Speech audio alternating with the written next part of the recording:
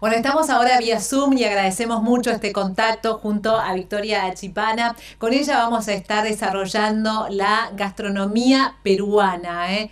Pisco, esta casa de comidas, este lugar de comida peruana aquí en Pergamino que sin duda se nos ofrece la particularidad de degustar distintos sabores, pero además desde el conocimiento de otras culturas, ¿no? Para eso también Victoria se ha capacitado de mucho porque estudió gastronomía, eh, también en gerenciamiento gastronómico, estuvo allí mismo en Perú, bueno, tiene una historia familiar para contar. ¿Cómo estás, Victoria? Un gusto recibirte en Somos Noticias. Hola, ¿cómo estás? Eh, Muy bien. Sí, em, yo hago un pasado, presente y una idea como para futuro de lo que tengo de Pisco. Eh, bien. Lo que sería el pasado es mi, mi relación con todo lo que tiene que ver la cultura peruana en realidad, porque primero empezando por mi papá, que bueno, él es de allá, y bueno, mucho de eso lo tuve en mi casa, ¿no? Eh, acceso a gastronomía eh, peruana, junto también ¿no? con, obviamente, comidas típicas argentinas, pero claro, es algo en lo que yo me crié. Después cuando empecé a estudiar gastronomía, eh, si bien es algo más bien eh, generalizado, me interesó, me interesó especializarme, digamos, de alguna manera, porque uno también busca a qué dedicarse dentro de lo amplio que es la gastronomía, Em, y bueno, por eso terminé eh, yendo a Perú. Ahí pude tener acceso a dos cocinas. Eh, una fue la de El Charrúa y otra fue la Basílica 365, que em, la verdad que me dieron la oportunidad de ver eh, cómo cocinaban allá, ¿no? Que era muy diferente de la idea que yo tenía. Em, y, bueno, ahí fui, fui aprendiendo. También tuve la oportunidad de ir a una cevichería eh, que bueno, es uno de los platos más emblemáticos de lo que es la gastronomía peruana. Em, y bueno, ya cuando volví, volví con toda la información que ya tenía desde mi casa, más lo que aprendí en el colegio de gastronomía eh, y lo que vi en Perú. Así que bueno, ahí empecé a formar esta idea de, de Pisco, que primeramente fue como un proyecto de presentación de final de la carrera de gastronomía que hice en Rosario. Em, y bueno, poco a poco fue tomando forma eh, hasta lo que es hoy en día, que bueno, habría hace cuatro meses. Bien, eh, bueno, pisco uno entiende que, es una, bebida. Eh, contanos el porqué de pisco. Sí, pisco era porque como es comida, em, comida de otro país, quería un nombre que se relacione con lo que tiene que ver eh, la gastronomía que yo estoy vendiendo. Eh, el pisco sí es un destilado de uva originario de Perú, también hay en Chile, eh, sí. pero bueno, lo relacioné por ese lado. Y también lo que es el, el logo, es un colibrí que está hecho inspirado en lo que son las líneas de Nazca, que bueno, también, son, también están en Perú. Claro. Eh, Victoria, en cuanto a la particularidad de la comida peruana, hablabas recién, bueno, del legado familiar, desde chica, eh, allí eh, en la comida, en, la mesa familiar, seguramente conviviendo los platos argentinos con los platos peruanos. hay una diferencia muy, muy importante o sustancial que tiene que ver con, con la comida argentina y la comida peruana, ¿no? Uno habla generalmente de los condimentos, sin embargo, bueno, esos condimentos también tienen particularidades porque hay que saber eh, cómo, cómo utilizarlos, ¿no? De ahí la importancia entonces de, ir eh, probando cada uno de estos platos. Eh, sí, yo creo que la verdad que no, sé si hay tanta diferencia en condimentos, sino que por ahí las comidas tienen nombres raros. Ah, bien. Uno por ahí no está acostumbrado a escuchar ciertos nombres o los asocia con comidas eh, que tenemos asimiladas que son totalmente diferentes, pero si mm, te describo el plato, eh, ahí ya es diferente y ya son cosas que uno por ahí consume todos los días. Em, por ejemplo, uno de los platos que más se vende, eh, que más salida tiene en el local, es el lomo saltado. Em, se llama así porque en realidad viene de la técnica de cocción de salteado y es el lomo salteado al wok con vegetales, que en este caso son tomate, que puede ser perito, tomate redondo, cebolla morada, cebolla de verdeo, Y eh, bueno, esto se, acompaña con salsa de soja. También tiene otros ingredientes como por ejemplo salsa de ostras, que por ahí no es tan común, pero le da un gustito un poco más eh, agridulce. Y mm, bueno, esto salteado junto con papas fritas y además se acompaña con arroz.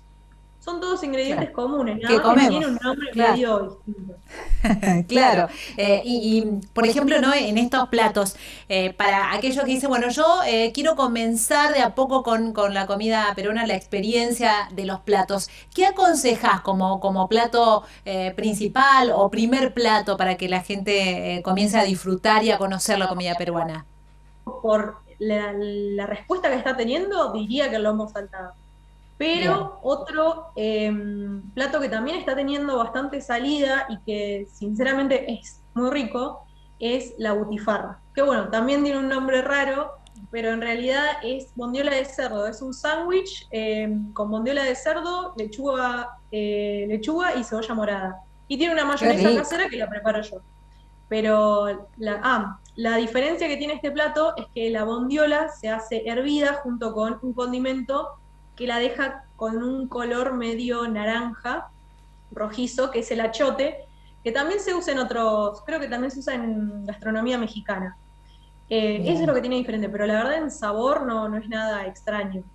Bien, eh, y uno cuando habla de los sabores eh, son más intensos, me decís que, bueno, no, no, no tiene nada extraño, pero son más intensos porque, por ejemplo, uno piensa que eh, no está tan presente la sal y sí otros condimentos, puede ser que sea esa también una de las diferencias. sí, sí, en la mayoría de los platos que yo estoy en este momento sacando en el local, en vez de usar sal, se usa la salsa de soja. Que eso, bueno, creo que viene bastante por la, la historia eh, inmigratoria que tiene Perú, que eh, también la gastronomía peruana está bastante influenciada por gastronomía japonesa y, china. Y allá también se usa mucho esto de cambiar la sal por la salsa de soja. Contanos si, por ejemplo, hay eh, una posibilidad de algún evento con pocas personas o con muchas personas, si ustedes trabajan de esta forma, si pueden armar eh, platos específicos que les piden, si ustedes los asesoran, eh, o tal vez para una cena romántica, para algo distinto, cómo se trabaja asesorando también, ¿no? Sí. recientemente tuvimos un evento en el Club Social em, de parte de Dry Tragos que sí. fue el sábado, este sábado 18. Y trabajamos con una capacidad hasta 40 personas. Y bueno, yo preparé el menú, era un menú de tres pasos. Eh, la única diferencia era que el plato principal era papa a la huancaína, que también se nombra bastante. El plato principal era eh, lomo saltado. Y como postre hice un suspiro limeño, que la verdad que no es mi área, pero la verdad que salió todo muy bien. Em, me, encantaría volver a hacerlo. Em, y porque, bueno, o sea, es una posibilidad que justamente yo acá en el local por el momento no tengo. Me encantaría en un futuro eh, incorporar postres. bien. Eh, sí, tener un, pequeño restaurante me gustaría. De acá como dos años. No sé, si las cosas siguen así. Bueno, recordanos dónde los encuentran a ustedes y un número telefónico. Bien, nosotros estamos en Avenida Perón, 1968, es enfrente del Colegio San Agustín, eh, y nuestro número de contacto es vía WhatsApp, es 15 59 68 31. también estamos en pedido ya, pero eh, si nos contactan por WhatsApp o llaman, eh, también tenemos cadetería. Bien, de lunes a... En este momento, esta semana empecé de lunes a viernes al, durante el mediodía, de 11 y media a 2 de la tarde, y después estoy de jueves a domingo, eh, también de 7 y media a 11. Te agradecemos, Victoria. Eh, no sé si hay algo más que, quieras contarnos respecto, bueno, a todo este, a, este, más que trabajo, yo diría que es una, una actividad muy placentera, porque uno cuando piensa en desarrollar una comida, producir una comida, elaborarla, lo hace también desde el amor, desde la creatividad, ¿no? Hay ahí como una conjunción bastante linda. Eh, sí, a mí es una de las cosas que más me gusta de la gastronomía, que mm, tener ese feedback, ¿no? Eh, a veces hay clientes que por ahí, sin que uno se lo pida, te, escriben para decirte que les gustó la comida y ahí para mí está la mayor satisfacción. es lo que más me gusta. Claro, Hacer algo así con mis propias manos o mis ideas y que, tenga buena respuesta de, parte de la gente, me encanta. Sí, seguro. Y que además eso, ¿no? Una puerta que se abre para que eh, conozcan esta cultura de la comida peruana y que en algún momento también, ¿por qué no?, eh, se inspiren para poder viajar a Perú.